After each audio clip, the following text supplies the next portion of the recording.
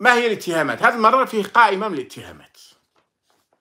من الاتهامات؟ قال لك الإماراتيين لقد تأكد أكثر من أي وقت مضى لدى الدوائر الرسمية والإعلامية الوطنية ارتباط مسؤولين إماراتيين بشكل مباشر بقضايا خطيرة تستهدف المصالح الحيوية للجزائر منها التجسس داخليا وحدوديا.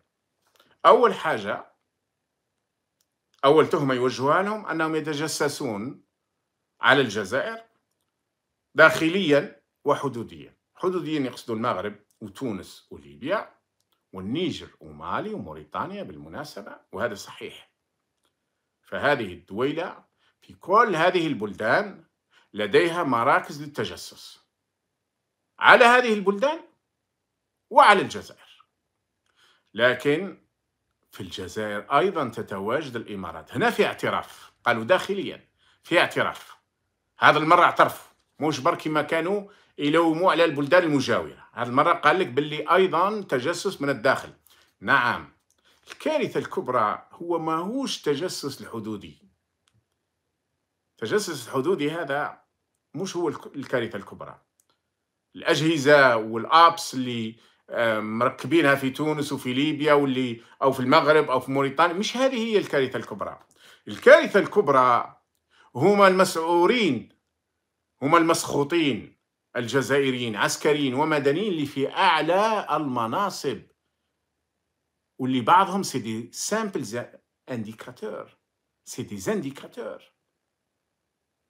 بياعين جواسيس للإمارات. وبعضهم يتجسس مقابل المال وأكثرهم يتجسس مقابل أن لا تفضح الفيديوهات اللي مصورينها له في أوضاع بشعة. بشعة مرعبة هاي المشكلة. وها هو علاش العصابة اليوم حاصلة. هاي على حاصلة وما قدرتش. يعني القرار نهار اللي قالوا قرار طرد السفير الإماراتي. كان صح القرار صدر. لكن دخل جناح آخر قال لهم لا لا لا لا لا حبسوا إيش راكم ديروا واش راكم ديروا وربما بعث لهم حتى كاش مقاطع من الفيديوهات. واش راكم ديروا أيضا للتحليل والإنصاف جناح تبون أقل انخراطا في القذارة لمن خط فيها الأجنحة الأخرى جناح المخابرات وجناح شنقريح.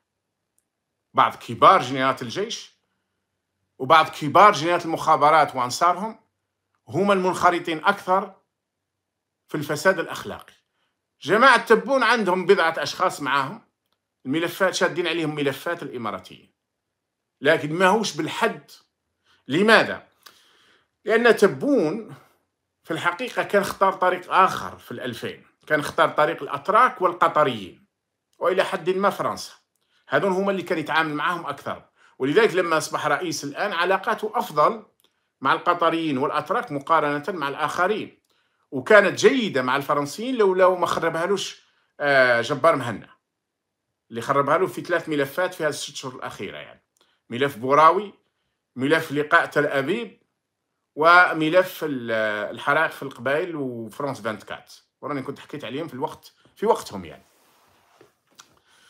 اذا هم هنا يعترفوا باللي كاين تجسس داخلي. هذا تقدم هذا هذا شيء مليح لأن هذه أول مرة يتكلموا على التجسس الإماراتي الداخلي.